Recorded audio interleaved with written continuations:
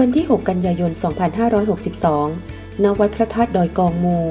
นางสาวสิทธิอภรเชยนาค พัฒนาสังคม และความมั่นคงของมนุษย์จังหวัดแม่ฮ่องสอน กล่าวรายงานต่อนายยุบนานา ที่ปรึกษารัฐมนตรีว่าการกระทรวงการพัฒนาสังคม และความมั่นคงของมนุษย์ ประธานในพิธีเปิดเมืองสามหมอก สู่เมืองอารยสถาปัตย์เพื่อคนทั้งมวล และพิธีลงนามข้อตกลง ขับเคลื่อนจังหวัดแม่ฮ่องสอน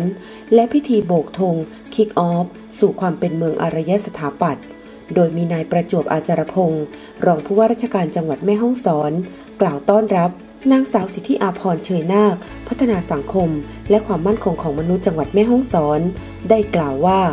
ตามที่กระทรวงการพัฒนาสังคม และความมั่นคงของมนุษย์ โดยกรมส่งเสริม และพัฒนาคุณภาพชีวิตคนพิการ ได้ร่วมกับจังหวัดแม่ฮ่องสอน และหน่วยงาน องค์กรที่เกี่ยวข้อง ขับเคลื่อนโครงการ พิธีเปิดเมืองสามหมอก สู่เมืองอารยสถาปัตย์เพื่อคนทั้งมวล ซึ่งเป็นโครงการนำร่อง ขยายพื้นที่ชุมชนตัวอย่าง ในการปรับปรุงสภาพแวดล้อม และระบบขนส่งมวลชน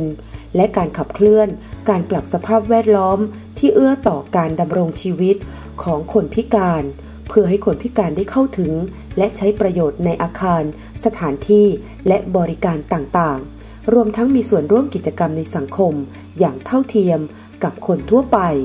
สอดคล้องกับกฎหมาย และอนุสัญญาว่าด้วยสิทธิคนพิการ ทั้งนี้ได้เริ่มจัดทำสิ่งอำนวยความสะดวกสำหรับคนพิการในสถานที่ท่องเที่ยวในจังหวัดแม่ฮ่องสอน โดยมีการปรับปรุงทางลาด ห้องน้ำ ที่จอดรถ ป้ายสัญญลักษณ์ และบริการข้อมูลข่าวสาร นอกจากนี้ยังได้รับการสนับสนุนงบประมาณ จากกองทุน เพื่อจัดทำสิ่งอำนวยความสะดวกสำหรับคนพิการในที่สาธารณะอื่น ๆ รวมถึงความร่วมมือจากภาคเอกชน องค์กรคนพิการ ประชาชนในพื้นที่